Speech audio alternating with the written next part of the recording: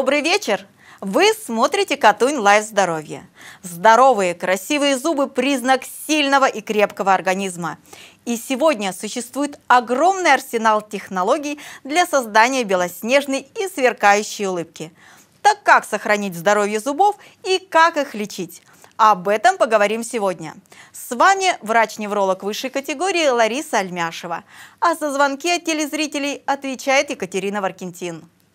Здравствуйте. Телефон прямого эфира 5 пятерок 0. Звоните и задавайте свои вопросы нашим экспертам, а они на них ответят.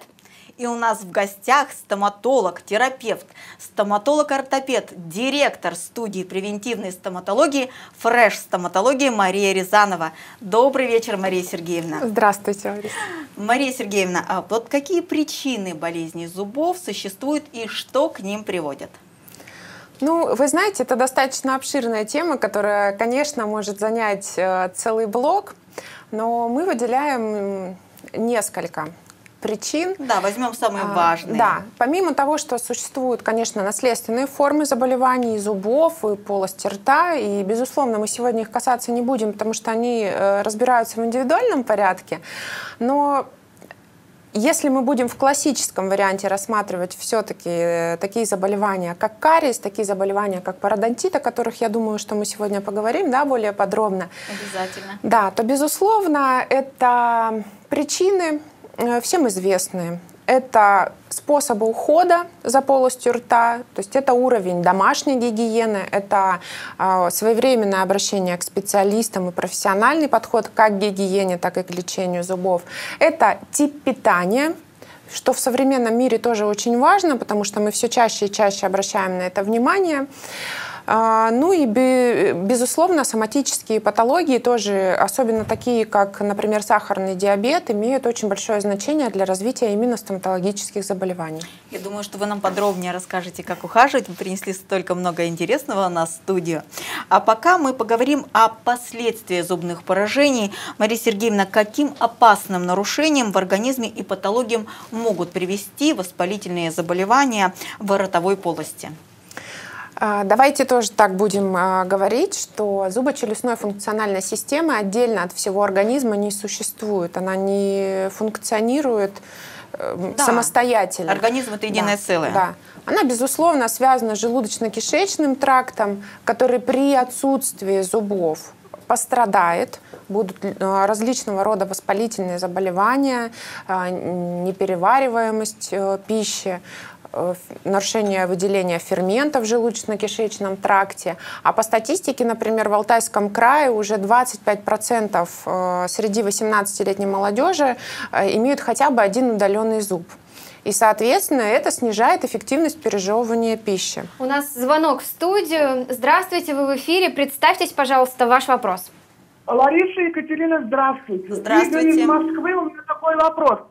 А если удалять зубные камни, вот когда у меня бывает зубной камень, может ли это привести к кариесу зубов? Спасибо большое за вопрос. Удаление зубного камня приводит э, к развитию кариеса или наоборот препятствует его развитию? Нет, мы не можем говорить, что наличие именно зубного камня влияет как-то на развитие кариозного процесса. Безусловно, нет. Мягкий налет, да. Зубной камень это скорее э, отложения, которые влияют на воспаление краевой части пародонта, десны. Пациент, пациенты знают этот элемент как десну. И непосредственно удаление этого элемента никаким образом на возникновение кариозного процесса не влияет. Не влияет. Нет. Единственное, что рядом с, этим, э, с этими отложениями, либо под этими отложениями, кариес уже просто мог сформироваться. Кариес корня, кариес э, эмали. Спасибо за ответ. Мы остановились на да. том, что происходит с желудочно-кишечным трактом, если есть патология ротовой полости. Ну, желудочным трактом я как раз уже да, обговорила. Хотела перейти к, к другим системам органов, э, на которые имеют влияние воспалительные агенты или воспалительные заболевания слизистой оболочки полости рта, потому что это ассоциированная микрофлора, и очень часто она ассоциирована с несколькими системами, с такими как сердечно-сосудистая система, и чаще всего это влияет именно на клапан, вызывая воспаление сердечных клапанов и потом недостаточность сердечных клапанов. Это очень очень сильно влияет на мочевыводящую систему, в частности на почки. Например, при заболеваниях пародонта, при обострениях заболевания пародонта часто сочетано идет обострение э, хронического пилонефрита, например. Да. И очень часто это сопряжено с опорно-двигательным Суставы. аппаратом, то есть суставами. Вплоть до аутоиммунных поражений э, суставов начинают э, разбираться и приходят, приходят к тому, что всю жизнь сопровождающееся воспаление в виде пародонтита э, сыграло свою роль и оказала воздействие именно на формирование этого заболевания. То есть, проводя профилактику да, патологии заболеваний полости рта, мы снижаем риск развития серьезных заболеваний, которые ну, могут развиться в организме. Да, да, ну и давайте так. поговорим о том, с какими проблемами люди чаще всего к вам обращаются. Я, э, безусловно, я врач на сегодняшний день частной стоматологии, хотя 8 лет э, проработала ассистентом, ассистентом кафедры ортопедической стоматологии, и свой прием мы там тоже ввели. Нас, простите, пожалуйста. У нас звонок в студию. Здравствуйте, вы в эфире. Представьтесь, пожалуйста, ваш вопрос. Здравствуйте. Здравствуйте. В какой лучше поликлинике хорошо будет зубы? В какой... А, э, какой еще раз? В какой поликлинике? Отбелить зубы хорошо. В какой поликлинике хорошо отбеливают зубы? Правильно мы вас поняли, да. Мария Сергеевна? Я не могу, я так не умею рекомендовать э, других докторов у себя э, лучше, чтобы пациенты выбирали все самостоятельно.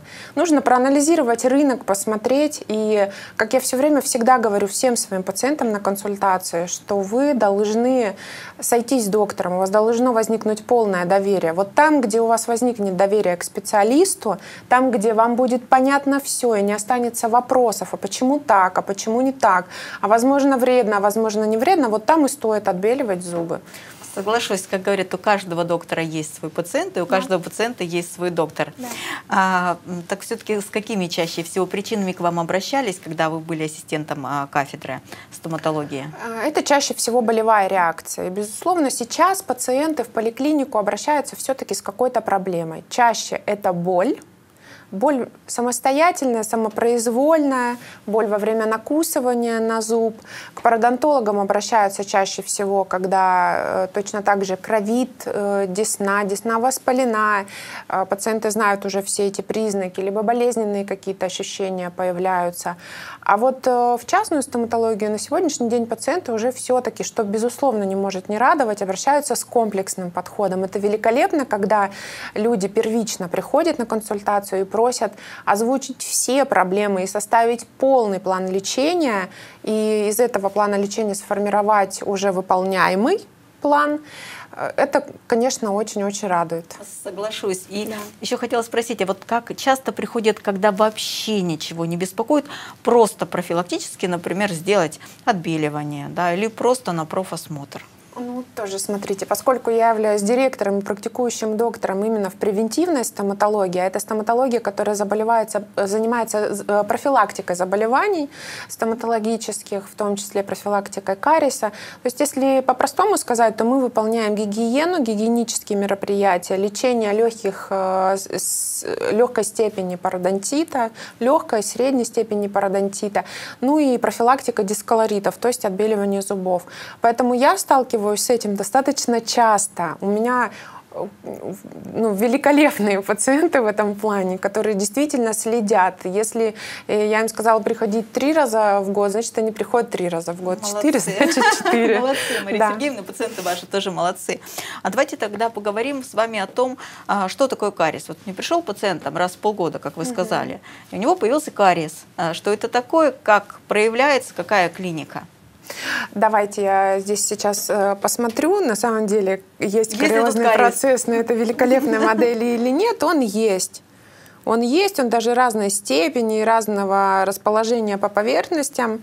Но кариес – это инфекционный процесс. Кто бы что ни говорил, кариес обусловлен. Это, ну, давайте буду по-простому объяснять, потому что все-таки направлено сегодняшнее мое выступление на пациентов, не на докторов. Это нарушение структуры эмали или нарушение структуры дентина с возникновением полости.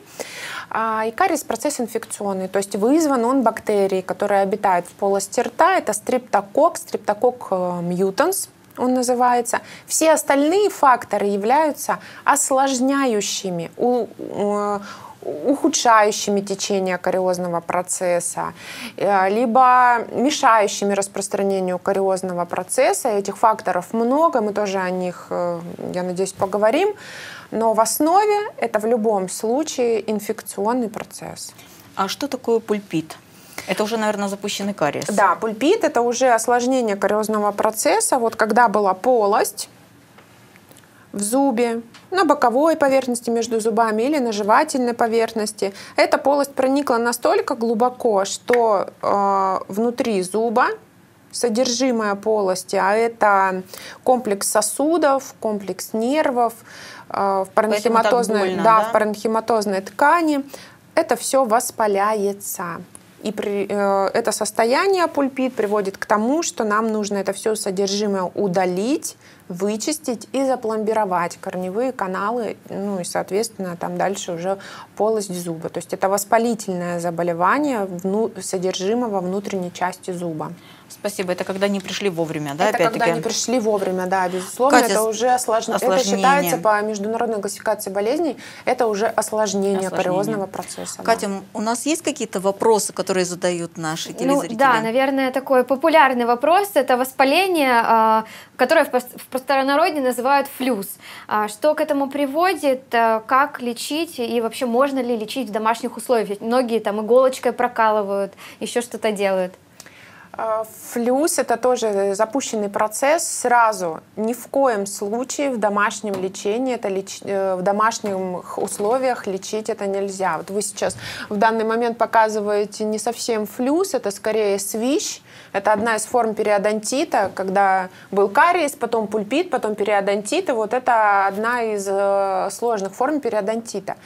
Флюс – это Воспалительный процесс, который вышел в поднадкосничное пространство челюсти и скопился там. Возникает отек, поднимается надкосница, возникает отек вокруг мягких тканей, и все это опасно возникновением абсцессов, ограниченных воспалений, флегмон — это разлитых воспалений, которые переходят в подчелюстные, в подглазничные пространства и Дома на шею. Это категорически Дома лечить нельзя. категорически нельзя лечить никакие, никакое сухое тепло, никак, никакие бани, никакое сало, аспирины, не дай бог. Это очень и очень, опять же, повторюсь, опасное заболевание, которое уже лечится либо амбулаторно в хирургии, либо даже в стационаре. Но вот еще говорят, что придется удалять зуб, если вот флюс возник. Правда ли это или все-таки нет? Если все-таки мы говорим о периостите, о тяжелой форме периостита, то скорее всего да, вероятнее да. всего да. И давайте поговорим о том, как сохранить зубы здоровыми. Давайте вы покажете нам, как правильно пользоваться щеткой, как часто нужно чистить. А, у нас полторы минуты, постарайтесь самые важные вещи рассказать нашим телезрителям? Вот если мы говорим о самой важной вещи, то тогда, э, во-первых, это посещение врача-стоматолога раз в полгода. Такие сроки придуманы не зря. Это как раз э, необходимое время для возникновения кариозного процесса, для начала кариозного процесса. Во-вторых, это налаженное профессия, сочетание налаженной профессиональной и домашней гигиены. Профессиональная гигиена раз в полгода, раз в три или в четыре месяца, в зависимости от того, какое заболевание, как показано и прописано стоматологом, а домашняя гигиена – это не только зубная щетка и зубная паста с правильной техникой, но это и дополнительные вспомогательные средства. Это должен уже индивидуально индивидуально для вас подобрать врач-стоматолог. И еще один очень важный момент, особенно для деток, но и для взрослых он тоже имеет значение, это питьевой режим и правильное окончание пищи. Потому что если вы завершаете свой прием пищи чашка чая с какой-нибудь булочкой, с печеньем, с любой, углевод... да, с любой углеводистой пищей, то, безусловно, формирование липкого налета ускорит возникновение кариозного процесса. Факторов много на самом деле, и за полторы минуты очень трудно. Мы, если что, вернемся к этому в следующем э, блоке. Мы прервемся, да, буквально на несколько минут.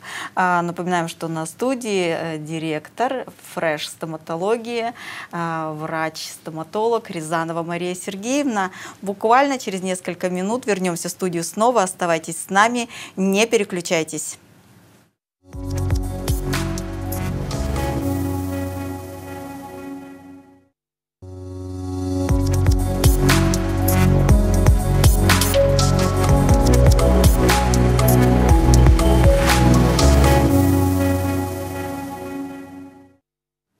Добрый вечер! Вы смотрите Катунь LIVE Здоровье. Сегодня мы говорим о здоровье зубов. Как лечится пародонтоз и как правильно ухаживать за полостью рта. Об этом поговорим сегодня с врачом-стоматологом, терапевтом, стоматологом-ортодонтом, директором студии превентивной стоматологии Fresh стоматологии Марией Рязановой. Мария Сергеевна, мы продолжаем, остановились на очень важной, интересной теме, так все-таки как проводить профилактику да, заболеваний полости рта. Вам слово. Да, мы остановились на том, э, что э, зубной щетки и зубной пасты недостаточно для домашней гигиены. Домашняя гигиена играет огромную важную роль в профилактике кариеса и его осложнений, ну и профилактике воспалительных заболеваний в том числе.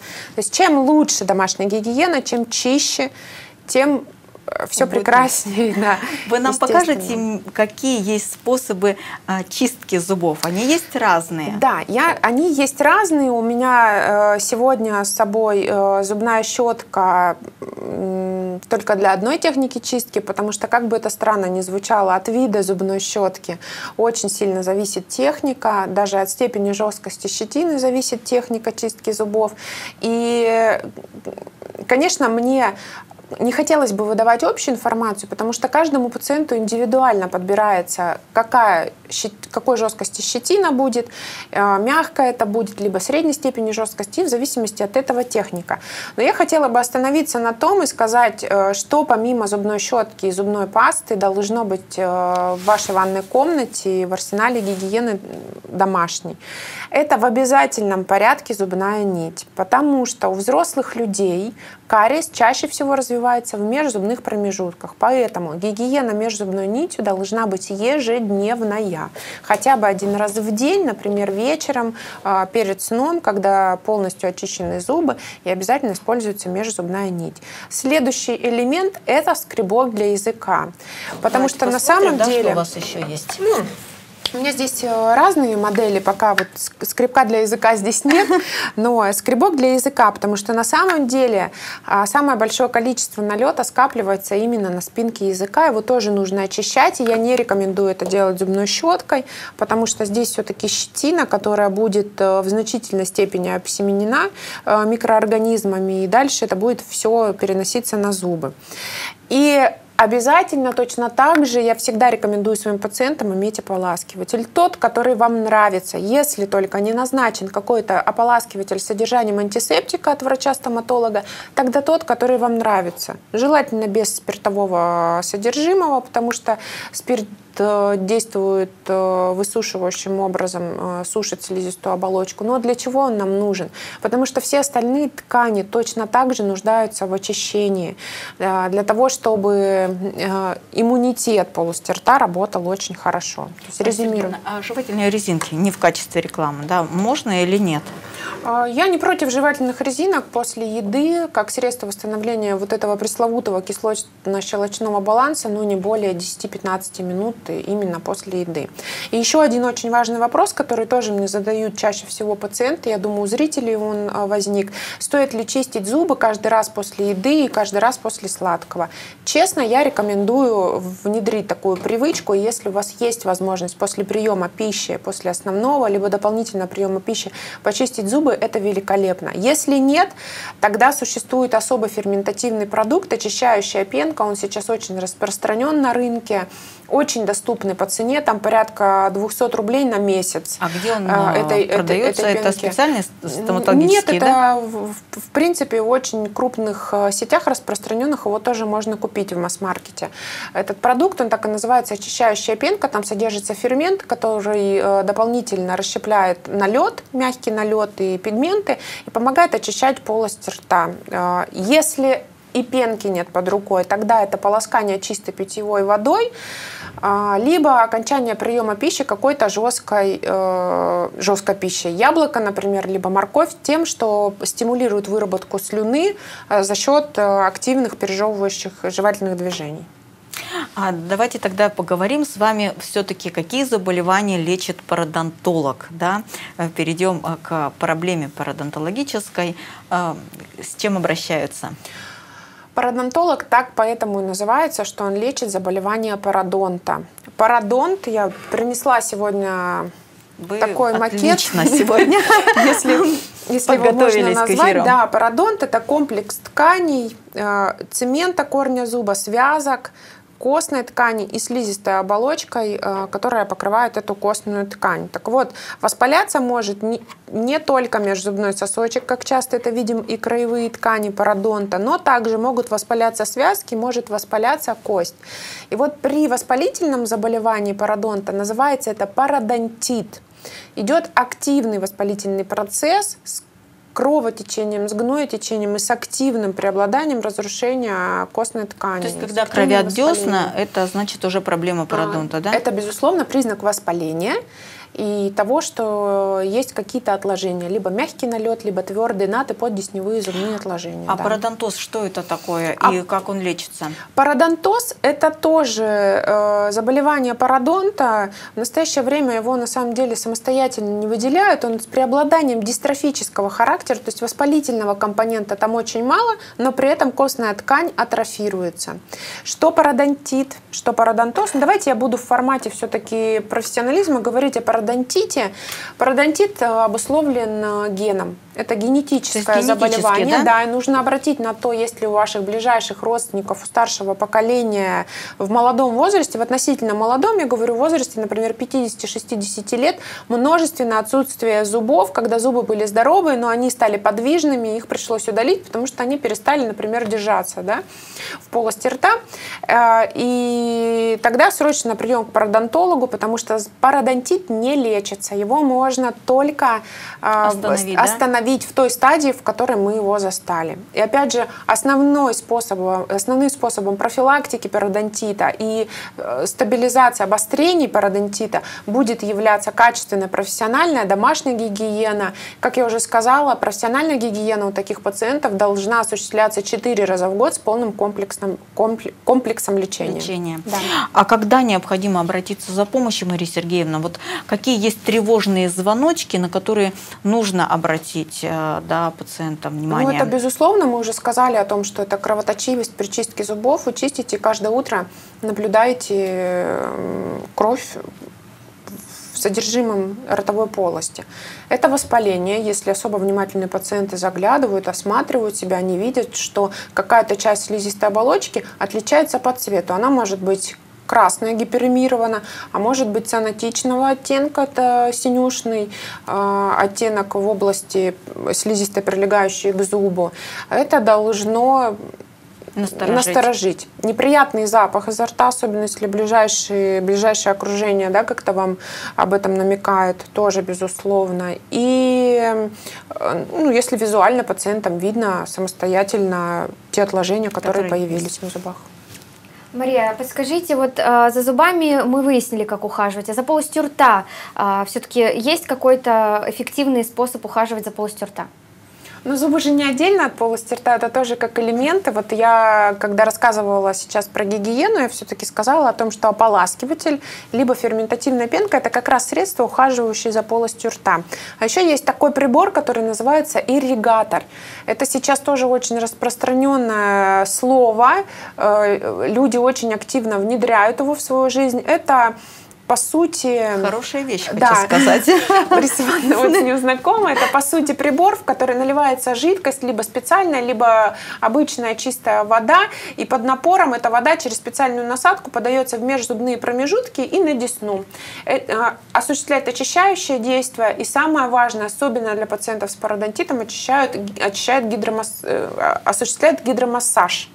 Десны – это как уже физиотерапевтическая процедура То есть это не только счастливым обладателем брекетов, да? Нет, нет. Ирригатор показан абсолютно всеми. Рекомендую детей с 7-летнего возраста начать уже приучать к ирригатору. И скребок для языка. Вот я еще тоже уже затрагивала эту тему. Это тоже средство для очищения ухода за полостью рта. Мария Сергеевна, вот э, мало тех счастливчиков, да, которые обладают красивой белоснежной улыбкой от природы. А, как добиться такого результата, чтобы было приятно улыбаться?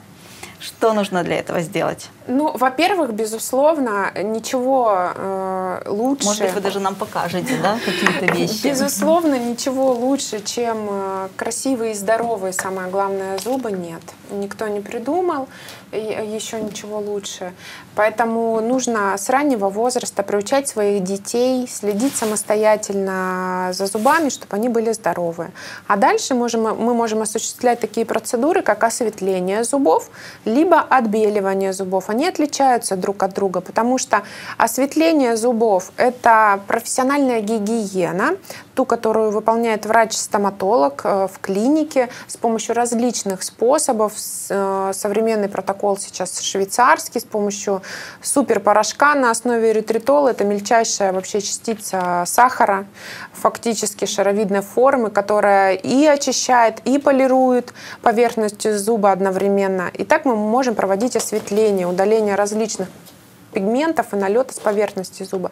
А можем проводить и химический процесс внутри зуба для того, чтобы изменить его цвет уже на уровне структуры пигмента, заложенного природой. А, может быть, вы нам немножечко расскажете все-таки про технику э, Давайте. Так, так не хочется вас это Хорошо. спросить. Давайте я вам расскажу про технику. Моя любимая щетка. Э, это тоже швейцарс, швейцарская щетка. Она ультрамягкая. В ней 5460 щетинок в этой щетке. И она соответствует всем правилам, которые определяют современ, современные правила стоматологов. Здесь одна щетина. Она имеет ровный срез. Пучки щетинки посажены плотно. И если мы посмотрим на микроскопической структуре, то под микроскопом микроскопом, то кончики этой щетинки будут заполированы. Так вот, такой техникой э, чистки зубов, именно такой щеткой заключается в легких э, круговых движениях, когда зубная щетка выставляется на границе между зубом и э, слизистой оболочкой, и, и вот такими вот легкими да? круговыми движениями вычищается, вычищается, потому что основная угу. зона скопления Это здесь, именно да? в преддесневой... То же самое внизу. В преддесневой Спасибо области, большое. Да. Напоминаю, что у нас в гостях была стоматолог-терапевт, стоматолог-ортопевт, директор студии превентивной стоматологии Фреш стоматологии Мария Рязанова. Что делать, если зуб невозможно восстановить? Об этом поговорим с врачом-имплантологом буквально через несколько минут. Не переключайтесь, оставайтесь с нами. А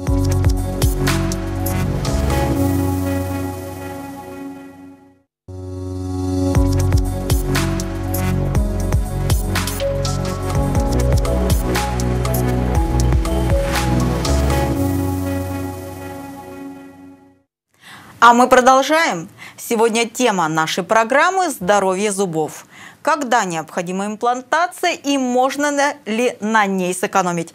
Об этом поговорим с хирургом-имплантологом, руководителем клиники да Винчи Даниилом Абакумовым. Здравствуйте, Даниил Анатольевич. Здравствуйте, Лариса Ивановна.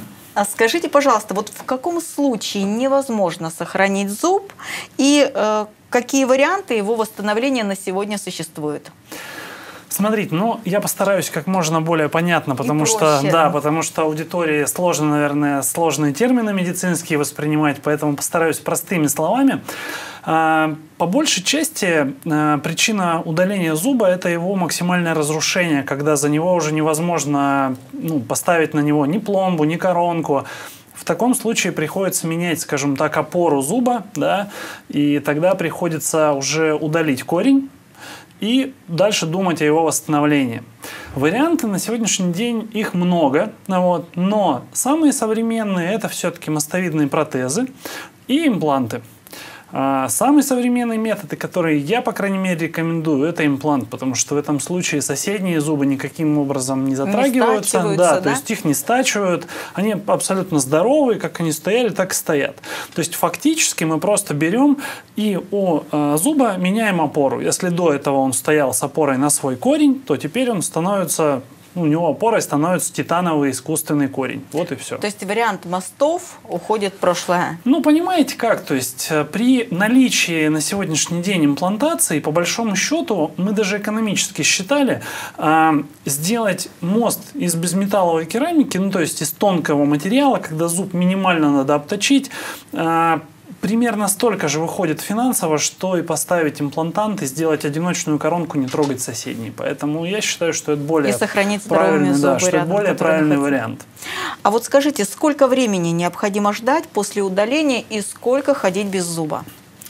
Ну, здесь для кого-то, может быть, это будет и какой-то шокирующей открытием, новостью, да? да, и открытием, да. Хотя на самом деле э, современные технологии позволяют вообще нисколько не ждать, да, и практически в любом случае можно э, имплант поставить одномоментно с удалением зуба. То есть, когда человек приходит в клинику, да, ему удаляют корень, в лунку этого корня устанавливают имплантант, и если это необходимо, ну, в частности, в эстетически важной зоне, в передней группе зубов, зубов, да, то в принципе возможно даже сразу установить коронку на этот имплантант, и по сути человек даже, ну, окружающий, никто не будет знать, что он пришел, ему удалили зуб. То есть так называемый зуб под ключ, да? Ну, примерно так, да.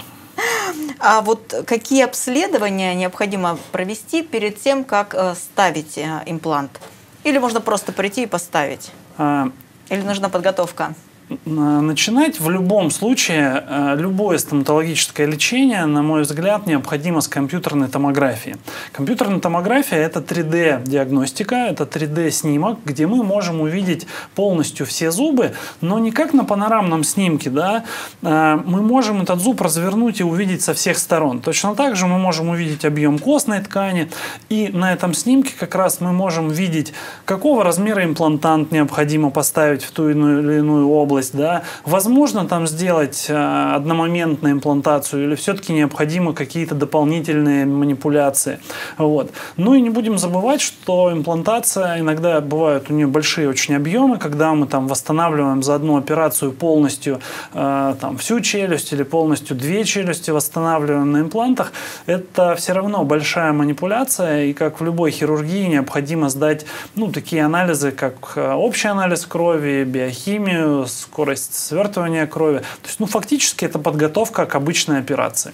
А пациенты с остеопорозом, да, как э, вы с ними проводите лечение? Наверное, непростая ситуация. Смотрите, с остеопорозом на самом деле непростая ситуация. И э, мы обязательно на сегодня э, при сборе анамнеза, ну, то есть когда мы узнаем у человека, какие у него есть общесоматические заболевания, да, мы обязательно у нас в анкете есть э, и в том числе остеопороз.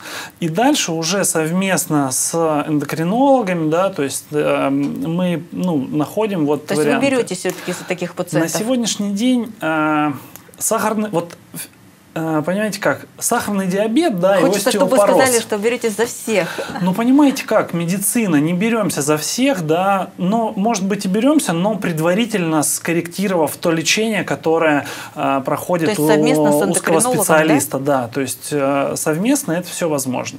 Спасибо. Катя, какие-то вопросы есть у телезрителей? Да, конечно, тема очень такая животрепещущая. Но вот все-таки э, срок службы импланта очень волнует наших зрителей. Э, и вообще, есть ли необходимость его менять, если вы установили? Ну, вопрос на самом деле э, интересный, да, потому что фактически и зубы-то нам даны на всю жизнь, да, вот. Но бывают такие ситуации, когда мы их теряем э, по тем или иным причинам. С имплантом та же самая история. Когда хирург-имплантолог устанавливает имплантант, фактически мы рассчитываем на то, что он ставится на всю жизнь.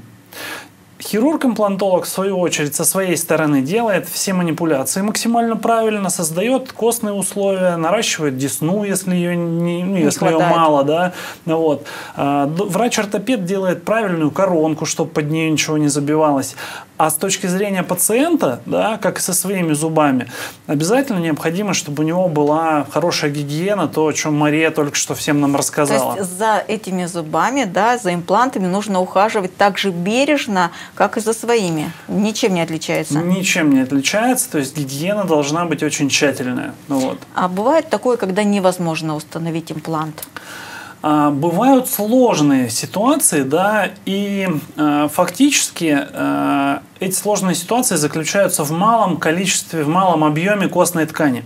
То есть, когда у нас есть имплантант определенного размера, ну, скажем так, минимального, да, но костной ткани по снимку, о котором мы только что проговорили, не хватает, ну, не да? хватает, да. Но современные методики позволяют эту костную ткань на сегодня наращивать. Это операция синус-лифтинг, да? когда мы в гайморовой пазухе наращиваем мы потом костную поговорим ткань. подробнее. Да, а, можно говорить о костных, э, костно-пластических операциях, когда мы наращиваем там ширину, создаем, да, костной ткани. То есть, но практически всегда э, возможно с помощью имплантов восстановить, кост, ну, восстановить зубы. Теперь, извините, перебью вас. Нас еще, наших зрителей очень интересует, как долго заживает все-таки после такой процедуры? А, имплантант, он фактически кость должна срастись с имплантом. И по времени это занимает э, от э, двух с половиной-трех месяцев. То есть это вот такой минимальный период, но за этот период времени, как уже говорил, не обязательно, что у человека нет зуба, да, то есть он может с временем ходить. Вот. Ну и, соответственно, если там будут какие-то костно-пластические операции, когда мы увеличиваем объем костной ткани, то здесь, конечно, период, э, он может увеличиваться и до полугода. Бывают, ну, на самом деле, сложные периоды, когда мы пациента пациента и год можем восстанавливать полностью всю зубочелюстную систему. А как-то нарушается жевательная функция, когда стоит имплант, но еще нет коронки? Ну, конечно, то есть если стоит имплант, но еще не установили коронку, то как бы этой областью жевать невозможно. Но мы понимаем, что если, допустим, у человека нет зуба, да, то, ну, если совсем нет зубов, да, то когда мы тотальную реабилитацию проводим, когда мы полностью все зубы заменяем, мы в любом случае делаем а, протезы, но они не съемные, да, они уже крепятся на эти импланты. То есть мы всегда пытаемся человеку дать полную реабилитацию, как эстетическую, так и функциональную. А вообще сколько а, вот одномоментно можно поставить имплантов?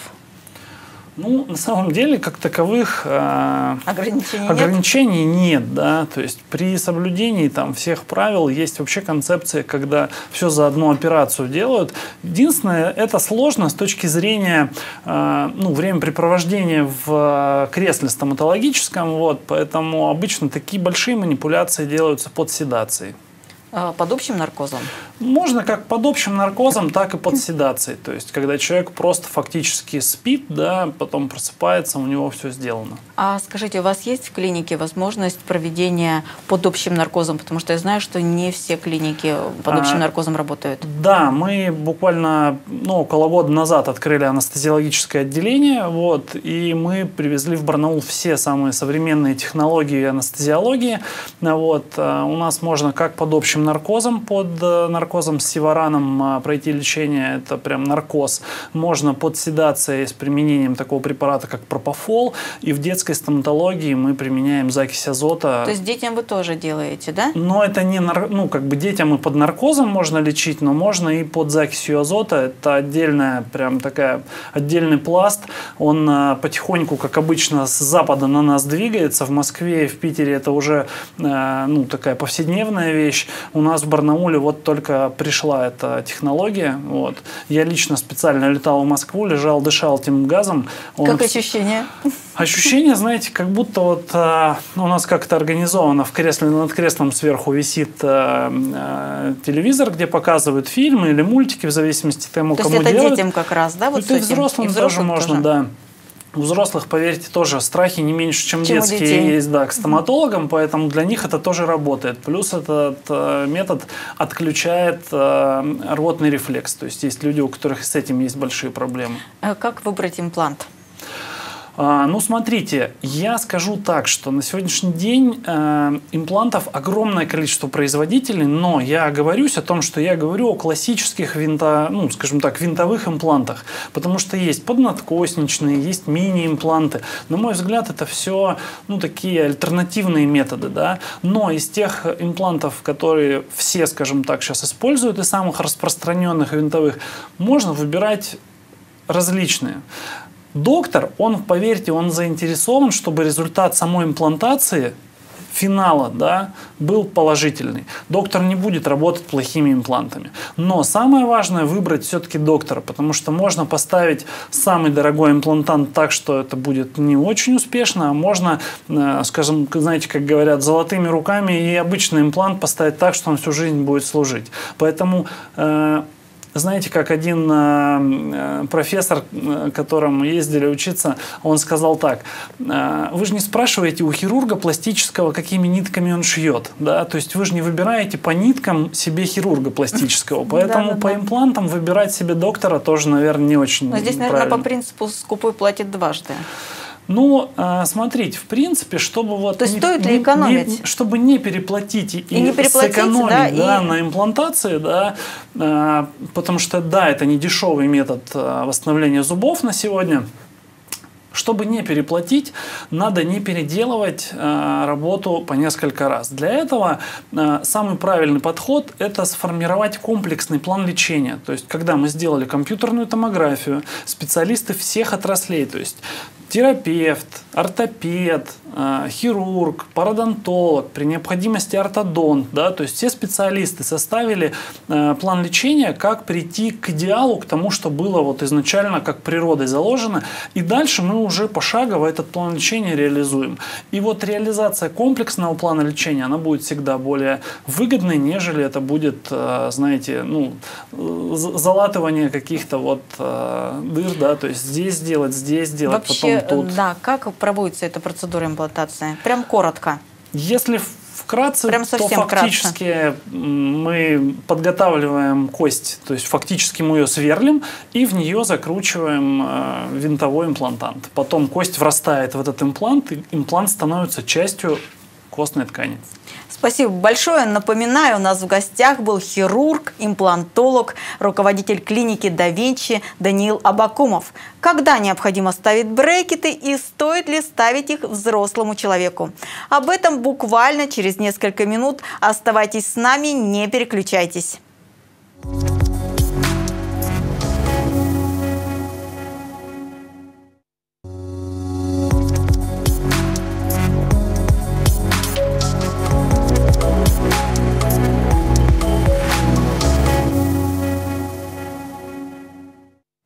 Вы смотрите Катунь LIVE Здоровье.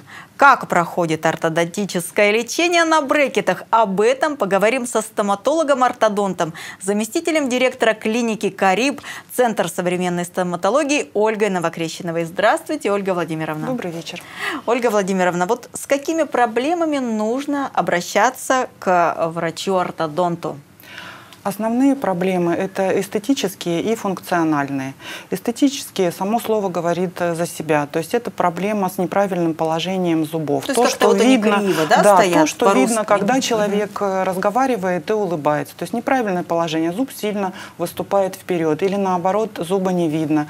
Э, это может быть нарушение при улыбке. То есть зубы сильно выстоят из-под верхней губы или их совсем, опять же, не видно функциональным проблемам э, относятся проблемы с нарушением э, приема пищи. То есть человек не может полноценно откусить и пережевывать какой-то продукт. Это может быть Э, нарушения, э, связанные с положением челюсти. То есть одна челюсть сильно э, стоит впереди, да, а другая, например, слишком западает, находится в большом дефиците. Страдают лицевые признаки. То есть это вот основные эстетические Показания, и да? функциональные проблемы, с которыми чаще всего обращаются пациенты, или мы бы хотели видеть таких пациентов у себя, чтобы могли помочь им. А, Ольга Владимировна, а какие аномалии зубов встречаются? Аномалии зубов э, э, возможны э, по, по четырем, например, показателям. Аномалия формы зуба. Э, физиологически э, все зубы э, имеют определенную форму. Например, резцы всегда плоские с режущим краем. Клык вообще имеет уникальную форму с большим объемом эмали, с рвущим бугром. Группа премоляров – двухбугровые зубы. Группа жевательных зубов, маляров, с большой жевательной поверхностью, огромной. То есть все, что задумала природа, она вложила в каждую группу зуба. И аномалии формы зубов тоже бывают разными. Например, резцы не плоские, а бочкообразные, или с выраженным эмалевым валиком, который эстетически смотрится некрасиво. И или, с этим например... что-то тоже можно сделать? Да, и с этим тоже можно сделать. То есть если есть ортодонтические показания, то, конечно, поможет ортодонт, а потом уже в помощь ортодонта может быть и терапевт-стоматолог, который сделает реставрацию, или э, врач-стоматолог-ортопед, который поможет как-то поменять, э, изменить форму зуба. А Ольга Владимировна, какие аномалии зубного ряда существуют? Э, зубные ряды э, тоже могут э, иметь аномалию по форме, когда зубной ряд, например, в виде трапеции или вытянут вперед и сужен.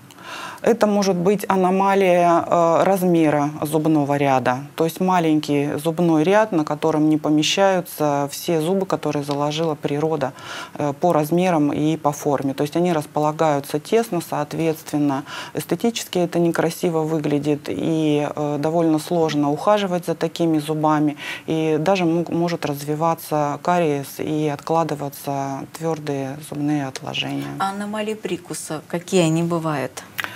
Аномалии прикусов, э, прикуса э, несколько вариантов. Э, это может быть связано с неправильным развитием челюстей. Например, чрезмерно развитая верхняя челюсть и недоразвитая нижняя челюсть. Это может быть наоборот, когда э, значительно э, увеличена в размере нижняя челюсть и другая, а верхняя, наоборот, в меньшей степени. А Это, можно ли вообще исправить эти аномалии? Э, ну, я могу сказать так, что э, на сегодняшний день практически любую патологию можно исправить. Э, хорошо, что существует ортодонтическое лечение и довольно широкий спектр ортодонтических аппаратов. Э, исправлять можно в любом возрасте, и у маленьких детей, и у подростков, и у взрослых людей, и пожилых.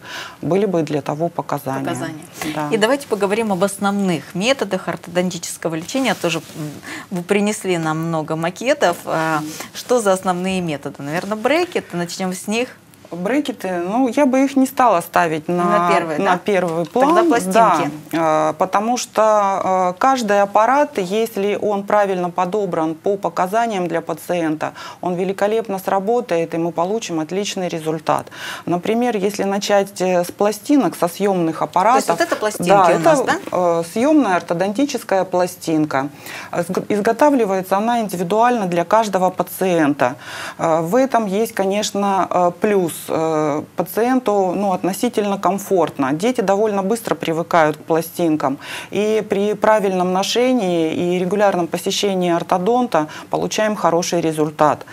Э, есть съемные аппараты, изготовленные фабричным путем. Они больше носят функциональный характер, работают э, с мягкими тканями, с языком, с Э, круговой мышцы рта, когда эти органы оказывают отрицательное действие и, возможно, что меняют положение зубов в худшую сторону. Такие аппараты, как эластокорректоры или трейнеры. Что касается э, несъемных ортодонтических аппаратов, которые показаны на этом типодонте, ну да, это брекеты.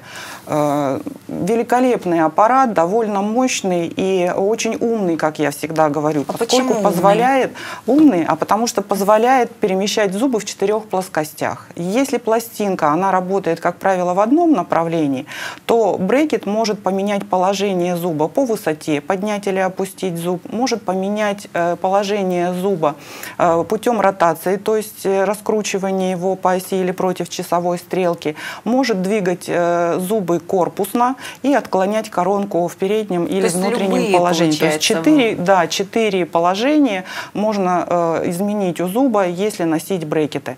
Э, брекеты Бывают металлические, то есть те, которые мы видим. Плюс этих брекетов, э, они могут быть маленького размера. И бывают эстетические, из материала, который менее заметен. Как правило, это упроченная керамика. Но они всегда по размеру чуть больше. Работают практически одинаково. Катя, какие-то есть вопросы у наших телезрителей? Но вот все-таки, когда ребенку нужны пластинки, а когда брекеты? Как э, маме выбрать?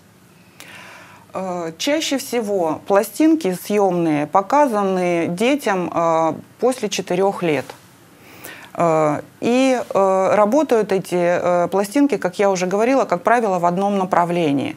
С пластинкой можно немного простимулировать рост верхней челюсти или поменять положение там, одного или нескольких зубов. Пластинка может у ребенка служить как протез, когда, допустим, произошло раннее удаление временного зуба, и чтобы хранить место для будущего постоянного, делают пластинку с искусственным зубом. То вот есть как, как называемое да, детское протезирование. Да, то есть вот здесь показано на пластинке, есть искусственный зуб, который хранит место и выступает, кроме того, что э, пластинка работает, выступает как э, э, протез, который хранит место для постоянного зуба. А стоит что... ли выпрямлять молочные зубы? Э, я, как ортодонт, я считаю, что э, к временным зубам нужно относиться так же серьезно и с полной ответственностью, как к постоянным зубам. И э, мнение о том, что временные зубы поменяются и можно будет потом что-то сделать, ну, это не совсем правильно. За временными зубами нужно ухаживать, их нужно своевременно лечить, причем с, восстанов... с восстановлением анатомических особенностей ну, каждого конечно, временного будем еще зуба. разговаривать да, с детским стоматологом да. об этом. А мы хотим вас спросить, а стоит ли взрослому ставить брекеты? Опять же, как ортодонт я могу сказать, что всегда этот шанс нужно использовать. Многие считают, что э, взрослый человек ну, уже опоздал, вот. Ничего подобного. Развейте наше мнение. Да, э, это, это миф. Э, главное, миф, чтобы, да. Да, главное, чтобы было желание. На сегодняшний день при современных технологиях стоматологии, конкретно в ортодонтии, нет возрастных противопоказаний. Единственное, что немного меняется подход в лечении, но достигаются великолепные результаты. А самый возрастной пациент, который у вас был? 65 лет. 65. Все прошло удачно, конечно. Все прошло хорошо. Э, кроме того, что мы исправили зубы, мы сохранили этому пациенту зубы. Изначально это были э, проблемы с пародонтом, и в результате этого заболевания э, связочный аппарат э, ослабевает, костная ткань убывает, и зубы готовы. То есть пародонтоз можно лечить на брекетах, правильно я понимаю? Здесь я бы не так сказала. С помощью брекетов тормозит, можно, да? да, можно сохранить зубы на более длительное время. То есть человек будет пользоваться своими зубами. Спасибо большое, Ольга Владимировна. Напоминаю, у нас в гостях была врач-стоматолог, ортодонт, замдиректора клиники «Кариб», Центр современной стоматологии Ольга Новокрещенова. Когда необходимо в первый раз привести ребенка к стоматологу и на что следует обращать внимание при смене зубов. Об этом поговорим после небольшого перерыва. А сейчас новости с субтитрами. Оставайтесь с нами, не переключайтесь.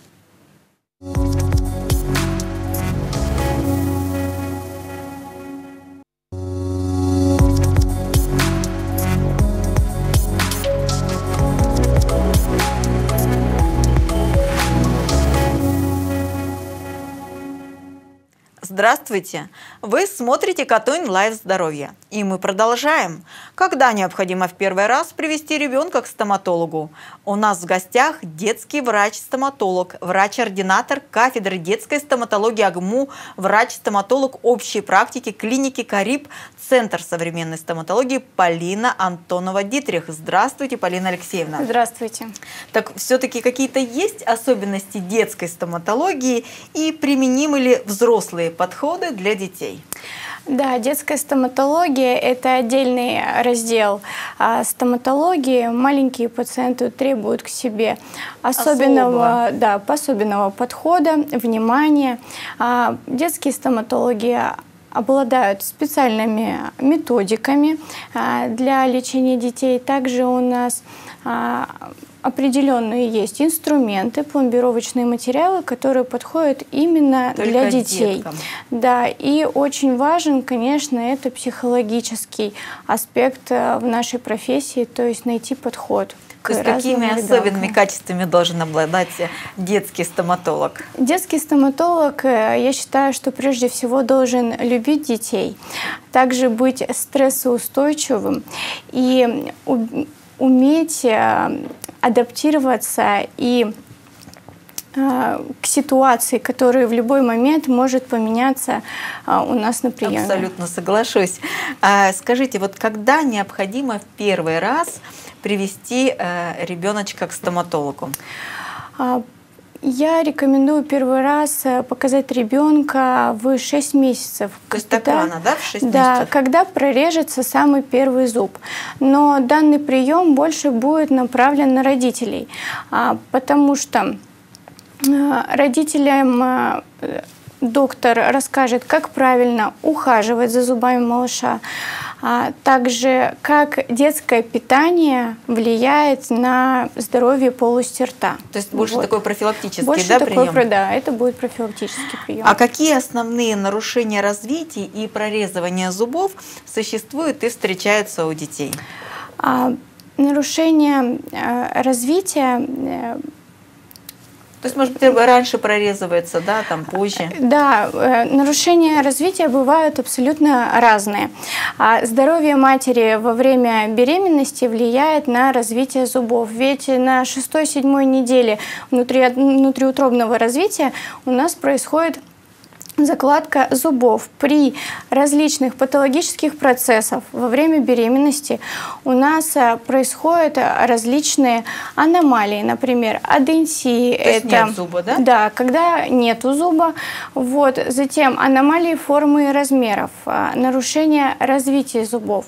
Например, гипо гипоплазия. То есть маленький зубик, да? Нет, гипоплазия это не кариозное поражение. Даже так? Да, которое характеризуется нарушением созревания белковой матрицы эмали, то есть нарушением минерализации эмали. Вот, оно встречается практически у половины детей а, младшего и школьного возраста. Оно незаметно родительскому глазу и очень часто осложняется кариесом. То есть гипоплазия, она выглядит как белое пятно, а, которое не потеряло блеска. То есть у нас существует э, кариес стадии пятна, например, да, это тоже белое пятно, но если мы его на стоматологической установке высушим воздухом, оно у нас потеряет блеск, оно будет матовое. Гипоплазия у нас не теряет блеска, но это уже только сможет отличить врач-стоматолог. А это нужно лечить, да? А, гипоплазию эмали нужно укреплять. А ее да. нужно укреплять, Это да? нарушение структуры эмали, то есть ее недоразвитие. Если ее не укреплять, она со временем может превратиться в полость. Вот, поэтому нужно обязательно сначала укреплять, использовать гели и стараться не допустить осложнений. Хочется спросить, у меня э, ребенку э, делали серебрянку. Вот сейчас используются такие методы. Помню, зубы были совершенно черные. Это а для чего было? И вы используете ли сейчас в своей практике? Э, нет, я в своей практике сейчас такую методику не использую.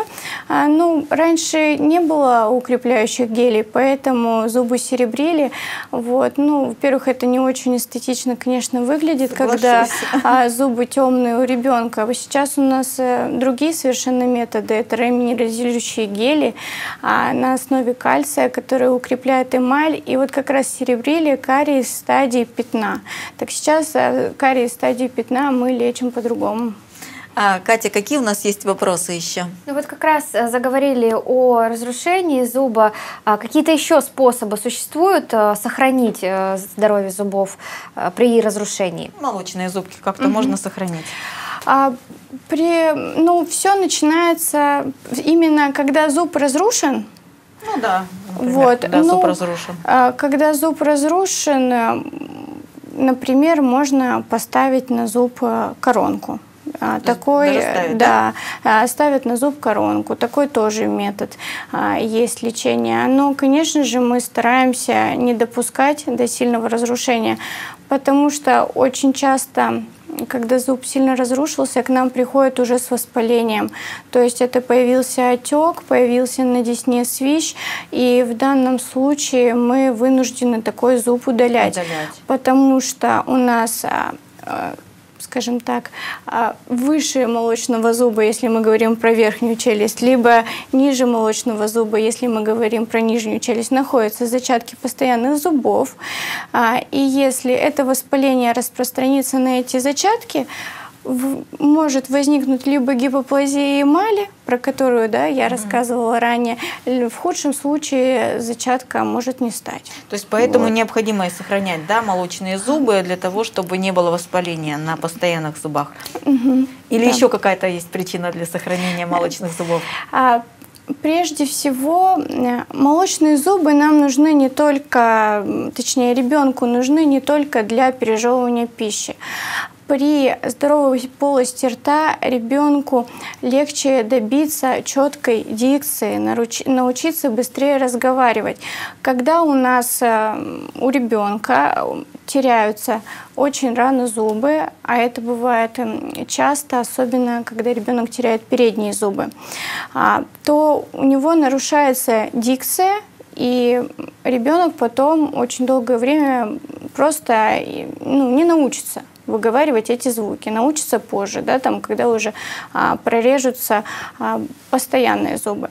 В худшем случае сформируется неправильный прикус, и тогда нужно будет уже обратиться к ортодонту. Расскажите коротко, как ухаживать за полостью рта а, маленького ребеночка?